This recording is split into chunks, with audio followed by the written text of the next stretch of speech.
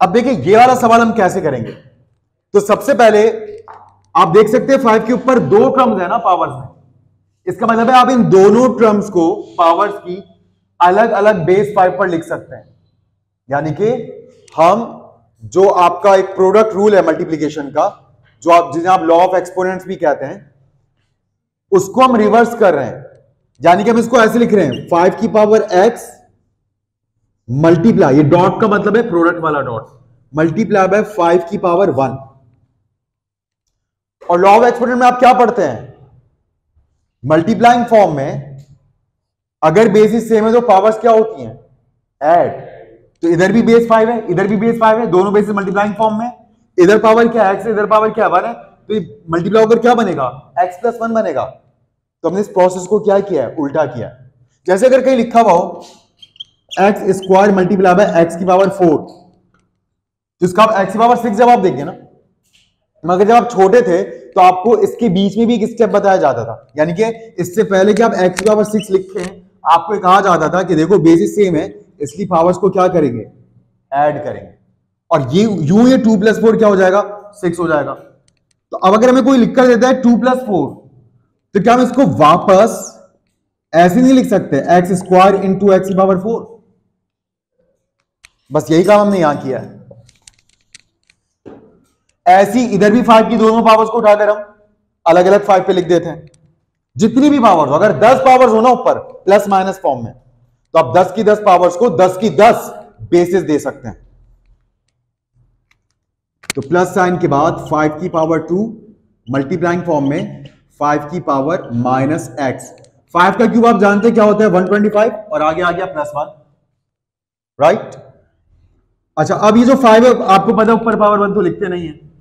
तो यहाँ पर मैं फाइव लिख रहा हूँ और मल्टीप्लाइंग फॉर्म में फाइव की पावर एक्स एज लिख रहा हूँ। ठीक है? फिर प्लस साइन के बाद फाइव का स्क्वायर क्या होता है? ट्वेंटी फाइव तो यहाँ ट्वेंटी फाइव लिख रहा हूँ और डिनोमिनेटर में मैं इस फाइव को नीचे लेके जा रहा हूँ। पर्पस क्या है? नीचे लेके जाने का। क्योंकि आपको पता है whenever you shift the base from numerator to denominator और from denominator to numerator the sign of its power will always be changed power का साइन तब्दील हो जाता है। So to make this power positive we have to shift this base from numerator to denominator तो यहाँ five की जो पर पावर माइनस एक्स है। ये नीचे आकर क्या हो जाएगी? फाइव की पावर प्लस एक्स अब ये पावर प्लस में हो गई। तो जब भी कोई पावर डिनोमिनेटर से न्यूमिनेटर में जाती है न्यूमिनेटर से डिनोमिनेटर में जाती है, याद रखिएगा, उसकी जो साइन है वो तब्दील हो जाती है। और ये क्या हो जाएगा? 126 now we have to avoid this denominator मुझे डिनोमिनेटर को रिमूव करना है। एक तरीका एलसीएम लू में एक और तरीका, इसी से पूरी इक्वेशन को मल्टीप्लाई करवा दीजिए। तो multiply by five raise to the power x तो देखिए, जब इधर फाइव की पावर एक्स ये चले, इसको मैं स्टेप बाय स्टेप आपको लिखकर दिखा देता हूँ। देखिए फ़र्स्ट टर्म थी फाइव इंटू फाइव की पावर एक्स इससे भी मल्टीप्लाई होने के लिए आ गया फाइव की पावर एक्स ठीक? प्लस साइन के बाद ट्वेंटी फाइव ओवर फाइव की पावर एक्स इससे भी मल्टीप्लाई होने के लिए आ गया फाइव की पावर एक्स और इक्वल के बाद वन ट्वेंटी सिक्स इससे भी मल्टीप्लाई होने के लिए आ गया फाइव की पावर एक्स तो ये देखिए, फाइव की, ये दोनों बेसिस सेम है। बेसिस सेम है तो पावर ऐड हो जाएँगी एक्स प्लस एक्स क्या हो जाएगा? Two x x plus x two x तो फाइव इंटू फाइव की पावर टू एक्स और आप इसको ऐसे भी लिख सकते हैं फाइव की पावर एक्स का स्क्वायर फाइव की पावर एक्स का स्क्वायर का क्या मतलब है? फाइव की पावर एक्स का स्क्वायर का मतलब क्या? है हमने दो फाइव रेस टू की पावर एक्स को आपस में मल्टीप्लाई होते देखा। जैसे कहीं लिखा हो थ्री मल्टीप्लाई बाई थ्री तो आप उसको थ्री का होल स्क्वायर नहीं लिख सकते। कहीं लिखा हो एट मल्टीप्लाई बाय एट तो क्या उसको एट का स्क्वायर नहीं लिख सकते? तो वैसे हमने देखा फाइव की power x multiply by five की पावर एक्स तो क्या हम इसको फाइव की पावर एक्स का होल स्क्वायर नहीं लिख सकते? बिल्कुल लिख सकते हैं। ठीक? और आपको पता है ब्रैकेट के बाहर वाली पावर ब्रैकेट के अंदर वाली पावर से क्या होती है? मल्टीप्लाई तो अगर आप टू को एक्स से मल्टीप्लाई करवाएँ तो वही तो बनेगा टू एक्स जो हम कह रहे थे कि x plus x two x होता है। ठीक है? लेकिन हमने इसको होल स्क्वायर में क्यों लिखा? टू एक्स क्यों नहीं लिखा? इसकी वजह भी आपको पता चलेगी। चंद लम्हे बाद इंशाला अच्छा इधर तो फाइव की पावर एक्स से फाइव की पावर एक्स क्या हो जाएगा? कैंसिल क्योंकि एक ऊपर और एक नीचे है। तो यहाँ आ गया प्लस ट्वेंटी फाइव और इक्वल्स टू के बाद 126 के साथ इसको ऐसी मल्टीप्लाइंग फॉर्म में लिखा रहने दें। अब हम तमाम टर्म्स को लेफ़्ट हैंड साइड पे जमा कर रहे हैं। तो सबसे पहले 5 इंटू फाइव की पावर x का स्क्वायर यहाँ जाएगा। उसके बाद ये 126 ट्वेंटी सिक्स इंटू फाइव की पावर x जो इधर प्लस में है राइट से लेफ़्ट साइड पर आने पर माइनस में हो जाएगा।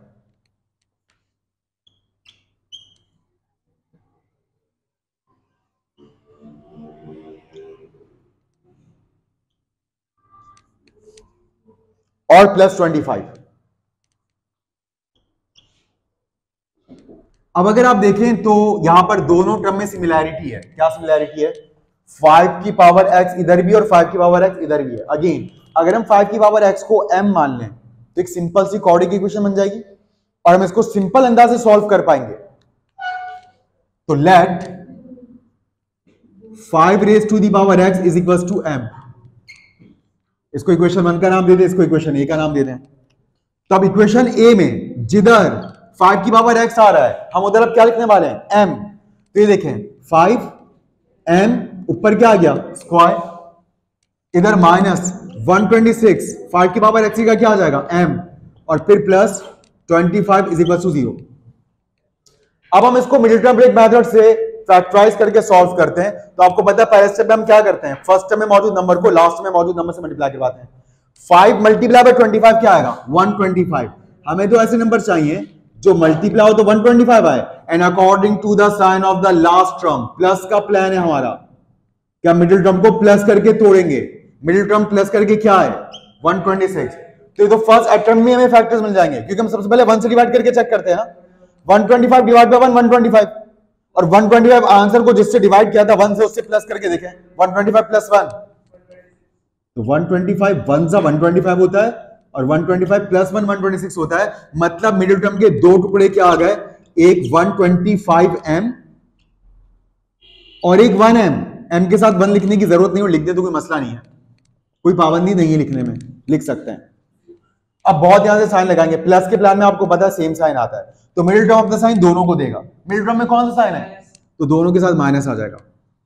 अब हम दो दो टर्म्स करके कॉमन लेंगे। तो सबसे पहले आप देख सकते हैं, पहली दो टर्म में फाइव एम कॉमन है। फाइव बाहर एम स्क्वायर में से एम बाहर एम रह गया। माइनस साइन के बाद five twenty five one twenty five होता है। और आप ऐसे भी कर सकते हैं कि पहले ट्वेल्व को डिवाइड कर लें। फाइव टू जा टेन। टू उधर फाइव पर चला गया, ट्वेंटी फाइव हो गया। फाइव फाइव जा ट्वेंटी फाइव। और एम बाहर है, लिखने की ज़रूरत नहीं है। माइनस साइन के बाद यहाँ से कुछ कॉमन नहीं तो वन कॉमन आ जाएगा। एम प्लस माइनस माइनस और वन ट्वेंटी फाइव जा ट्वेंटी फाइव। मजीद आप देख सकते हैं ब्रैकेट कॉमन आ रहा है एम माइनस ट्वेंटी फाइव का। और क्या रह जाएगा? फाइव एम माइनस वन जब दो ब्रैकेट्स मल्टीप्लाइंग फॉर्म में ज़ीरो के इक्वल होते हैं आप दोनों को अलग अलग ज़ीरो के इक्वल करते हैं। तो यहाँ पर m की एक वैल्यू 25 के वहाँ जाकर प्लस हो जाएगा 25 आ जाएगी और m की एक और वैल्यू पहले वन वहाँ पे जाएगा प्लस हो जाएगा और फाइव वहाँ पे जाकर क्या करेगा? डिवाइड करेगा। मगर ये तो m की वैल्यूज़ आई हैं। और हमें वेरिएबल सवाल में x दिया गया है, हमें तो x की वैल्यू लानी है। तो अब x की वैल्यूज़ लाने के लिए हमें इन m की वैल्यूज़ को उठा के कहाँ पुट करना पड़ेगा? इक्वेशन वन में।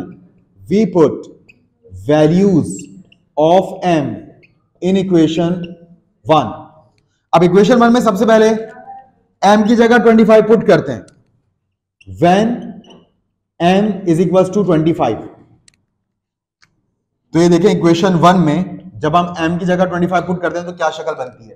Five raise to the power x is equal to अब हमने बता दिया कि हम m की जगह 25 रखने जा रहे हैं, क्योंकि m 25 आया है। अब यहाँ x की वैल्यू कैसे लेकर आए? आप चाहे तो इसको यहाँ पर लॉग अप्लाई करके भी एक्स वैल्यू ला सकते हैं। लेकिन जो इसका सबसे अच्छा तरीका और जो सबसे स्मार्ट तरीका वो ये कि इक्वेशन हमें बता दी कि अगर आप किसी तरह बेसिस सेम करने में कामयाब हो जाते हैं, अगर आप बेसिस इक्वल करने में कामयाब हो जाते हैं तो उनकी पावर्स को इक्वल माना जाएगा। और अगर आप पावर्स को इक्वल करने में कामयाब हो जाते हैं तो उनकी बेसिस को इक्वल माना जाएगा। यानी कि हो सकता है आपको एमसीक्यूज में कहा जाए कि एट की पावर वाई और 64 बताओ y की क्या वैल्यू है? तो आप 8 की पावर y और इधर 64 को 8 की पावर 2 लिख सकते हैं। तो बेस इक्वल कर दी। मतलब पावर्स इक्वल है। y इक्वल टू ठीक? अच्छा और ऐसा भी हो सकता है कि कभी आपको कहा जाए, बताओ m की क्या वैल्यू है? तो m raise to the power four है कि हम 16 को किसी नंबर की पावर फोर लिख सकते हैं? किसकी पावर फोर 16 के इक्वल होता है। बिल्कुल। टू की पावर फोर इस बार पावर्स इक्वल हो गई ना? मतलब बेसिस इक्वल है। तो एम की वैल्यू क्या आ गई? टू आ गई। राइट तो यहाँ पर मुझे बताइए, इधर बेस फाइव है और उधर ट्वेंटी फाइव है। तो मैं फाइव की पावर एक्स को बराबर कर सकता हूँ फाइव की पावर टू के, क्योंकि फाइव की पावर टू ट्वेंटी फाइव के इक्वल होता है। तो अब आप यहाँ पर लिख सकते हैं if bases are equal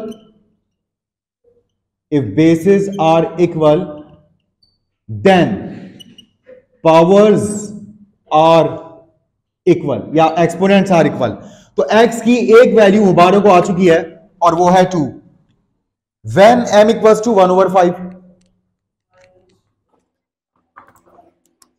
तो इक्वेशन वन की क्या शक्ल बनी? Five raise to the power x is equals to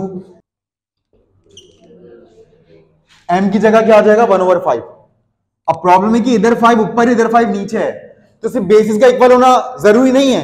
basis का सेम पोजीशन पर भी होना ज़रूरी है। तो इसलिए हमें इस फाइव को ऊपर लेके जाना पड़ेगा। फाइव की पावर क्या हो जाएगी? माइनस वन क्योंकि नीचे प्लस वन थी। बेसिस इक्वल हो चुकी है मतलब पावर्स इक्वल है। तो एक्स की वैल्यू क्या आ गई? माइनस वन तो सॉल्यूशन सेट में हम दोनों वैल्यूज़ लिख देंगे। एक एक्स की वैल्यू टू आई है और एक एक्स की वैल्यू माइनस वन आई है। और आप चाहें तो इन जवाब को चेक कर सकते हैं। अगर आप यहाँ पर अभी एक्स की जगह कोई भी वैल्यू पुट करें तो लेफ़्ट हैंड साइड पर भी वही आएगा जो राइट हैंड साइड पर है। राइट हैंड साइड पर 126 बनाए। फाइव का क्यूब 125 125 प्लस वन 126 तो जब आपका पेपर पूरा हो जाए, अपना जवाब चेक करना चाहें तो जहाँ जहाँ एक्स आ रहा है, कोई भी एक आसान सा नंबर लेकर यहाँ पुट कर दें। टू पुट कर लेते हैं। तो अगर आप एक्स का टू पुट करें तो टू प्लस वन क्या हो जाएगा? थ्री तो फाइव का क्यूब क्या हो जाएगा? 125 और इधर अगर आप एक्स का टू पुट करें तो टू माइनस टू क्या हो जाएगा? ज़ीरो और फाइव की पावर ज़ीरो किसके इक्वल हो जाएगा? वन के. किसी भी वैल्यू की पावर ज़ीरो वन के इक्वल होता है। तो ये बना 125 और ये बना वन यहाँ पे तो यही 125 plus one balance it mean हमारे आंसर आर परफेक्ट तो बजाय कि आप एंड में पूरा एक एक स्टेप चेक कर रहे हो बैठकर, सवाल का, अपना वक्त जाया कर रहे हो, जवाब स्मार्टली चेक कीजिएगा। इंशाल्लाह मेरी आपसे मुलाकात होगी नेक्स्ट क्लास में। और आज हिबा की बारी नहीं आ पाई क्योंकि टाइम थोड़ा ऊपर हो गया।